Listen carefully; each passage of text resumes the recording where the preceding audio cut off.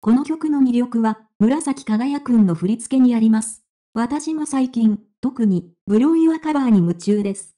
歌詞とダンスのシンクロが素晴らしいですね。特に彼の腰の使い方や首の動きは圧巻です。この曲は、特に紫輝くんが歌う部分で、心を打たれるような感動を与えてくれます。この曲では、紫てるくんの魅力が存分に表現されています。例えば、消えないほど岸下の部分では、彼が右手で唇を持ち上げる仕草が心に響きます。その姿勢は、彼のセクシーな表現にさらなる深みを与えています。女性ダンサーが同じ振り付けをするのもよく見かけますが、紫輝くんがするとさらに魅力的に感じます。また、Is It Too Late? の部分では、彼が腰を左右に振りながらアップダウンするダンスがあります。通常、女性ダンサーがこのような動きをするのを見ることがありますが、紫輝くんが同じ動きをすると、さらに魅力的でセクシーに見えます。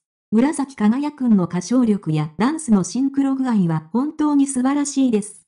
特に腰の使い方や首の動きなど、細かな部分まで見事に表現されています。ブローユアカバーは、ただ聞くだけでも感動的で、時には涙がこぼれるほどです。彼の歌い方や踊り方、そして表情が曲全体にセクシーな魅力を与えています。この曲を聴くたびに感動して涙が溢れてしまいます。紫輝くんの歌唱力や腰の動きは本当にセクシーで、聴くたびに魅了されます。私は他のファンと同じく、この曲に夢中になってしまいました。生配信で彼のダンスを見ていると、目の前で倒れてしまうかもしれません。彼の歌唱力も、そのセクシーさも、本当に魅力的です。私もこの曲に対する愛情が深いファンの一人です。その曲に関する感情を共有できる仲間がいることは本当に嬉しいです。生配信でのダンスを見ていると、本当に目の前で見ていたら倒れてしまうかもしれませんね。笑い。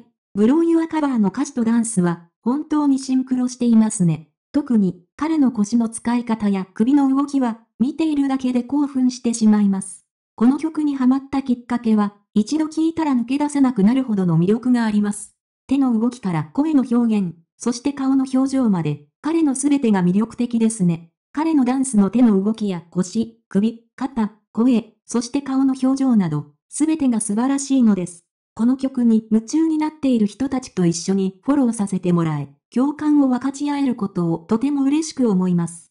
彼の魅力に引き込まれるのは共通の感情なのでしょうね。紫輝くんの魅力について語ることはつきませんが、彼のファンとしては、彼のこれからの活動も楽しみで仕方ありません。一緒に彼を応援し続けましょう。ブローユアカバーは、紫輝くんの魅力が詰まった素晴らしい楽曲です。これからも彼の活躍を楽しみにしています。以上が私の、ブローユアカバーへの熱狂的な感想です。皆さんはどう思いますか？あなたのお気に入りの楽曲や彼の魅力についてのご意見をお聞かせください。この曲にハマるきっかけは、本当に抜け出せません。暇さえあれば動画を見てしまいます。彼女の動き、腰の使い方、首の動き、肩の動き、声、顔、すべてが最高です。彼の振り付けは本当に素晴らしいですね。特に優しくキスするところはたまりません。彼の見せ方は本当にセクシーで、見ているだけで溶けそうです。紫輝くんの歌唱力とダンスの魅力は本当にやばいですね。彼の表現力は私たちを引きつけ、魅了し続けています。最後に、皆さんは紫輝くんの魅力にどのように惹かれていますか？この曲に関する皆さんの感想やエピソードをお聞かせください。